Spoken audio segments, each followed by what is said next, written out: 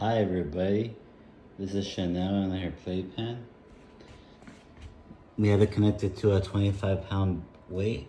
We have the zip tie connected to the pen on the weight. We have our water right here with the T-Rex. This is called the EveryYay Playpen. This is the extra large version. We have a 10 pound weight right here. You could put 10 pounds and a 25 pounds, or just two 25 pounds, whatever you prefer. I'm not sure that two 10s would be enough. I think you have to have a 25 pound weight at least. I suggest it.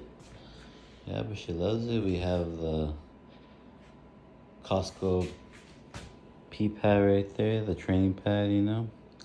Once that runs out, we're gonna switch to the Glad pad that we bought at Costco as well because glad pads are more observant and they're smaller, but she loves it.